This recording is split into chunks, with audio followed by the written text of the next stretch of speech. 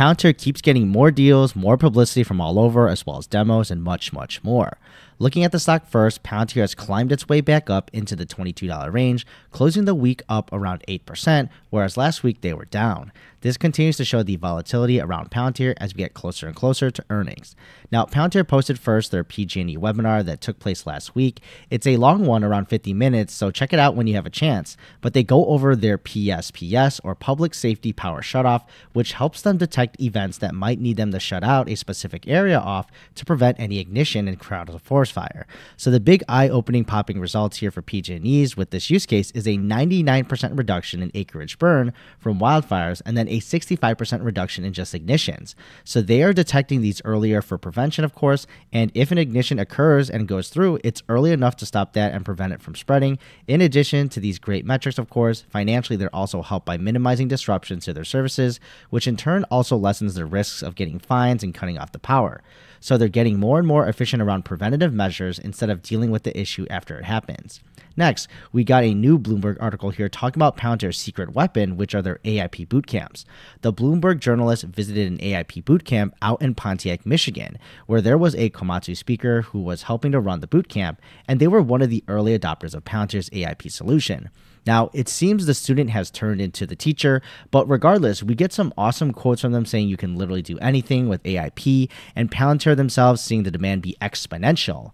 And if you're looking for numbers, they compare last year's 500 boot camps, which took place mostly in the later part, with them now being able to run around five per day so far this year. So it's possible they may be on track to do three times the amount of boot camps from last year, and that's just based off raw numbers. But regardless, this is still playing out, and they even utilize RBC's analyst Rishi, who is an ultra bear on the stock, as a quote unquote counter argument for them, saying it's a pipe dream that these boot camps will not scale for Palantir because their software is too complicated. So I guess they wanted to balance the story out somehow. So we'll see how it plays out, but check out the article when you have a chance.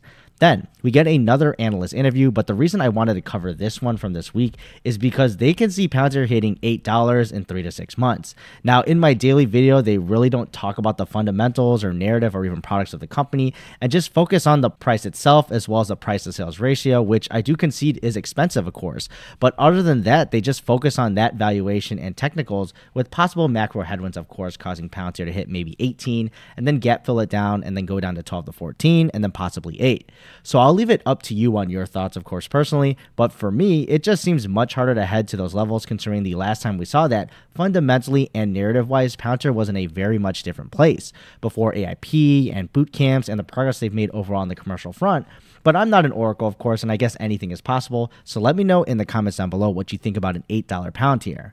Now, a new partnership also gets announced with Parexel, who is a CRO or clinical research organization. They help run services for clinical trials, phases 1 to 4, and work with many, many pharmaceutical companies, especially the big names, that sponsor the different drug discovery research that they are testing. Now, we get a few clues on the kind of work that they'll be doing with their data, and it should help them speed up, as well as improve efficiency around the transparency and running of clinical trials for these clients, which in turn can potentially bring drugs to market much quicker and safely. Now, approving drugs is still a very red tape heavy process, working with the governments and dealing with multiple test phases, which makes sense considering the potential dangers of a drug and the side effects. Now, this partnership is a multi year agreement. We don't get an exact dollar amount, unfortunately, with Palantir, and we know they'll be using Foundry and AIP as well, with the statement saying they've been working with each other the past year. So it's always great to hear about a new deal, but even more so, continue to see Palantir make strides with healthcare from so many different angles. Now, we've also got the face of ARK ETF Funds, Cathie Woods. She picked up another 45,000 shares, as well as another 100,000 shares on Friday this week. It's a bigger buy than we've seen in the recent past, but not necessarily the biggest, and of course, a giant bonanza of buying, but still is buying in these low $20 range, as we can see in the share price. Then we've got Coach Rep dropping an important video, in my opinion, for the Palantir community. The premise is sharing his thoughts and explanations of the latest AIP now we first heard about at the last AIP Con. He shares his thoughts on what the platform means now and possibly in the future and maybe becoming a marketplace, but also touches on many other important initiatives and products around Palantir that most importantly shows where it fits into the landscape of software amongst Palantir's customers and what they are lacking from competitors right now, and of course the value that Palantir can fill for them. Now, I won't take his thunder, of course, it's more than a 20 plus minute video, but it is a worthwhile watch as I'm saying here. It's for his longtime followers of Palantir. It's useful, but also those who are new and freshly ready to learn about the company and what it's all about. So it's a great start there.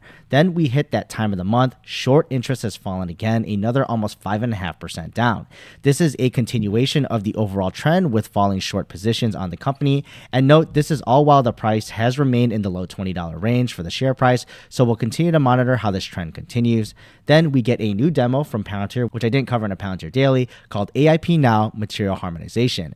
This is another great walkthrough on how Palantir's AIP is so helpful for customers, and they do a demo of an example with literally harmonizing their data across many different source systems where if you're managing, say, raw materials, even from different countries, they show how a customer can tie these together, build out their ontology much faster and accurately with the help of AI agents. And they even showed an example where the only info from the suppliers was in Spanish, but they were still able to quickly extract out, translate that into important metadata on that specific raw material for them. So check it out when you have a chance for more details. But let me know your thoughts below on everything on the news, and I'll see you in the next video.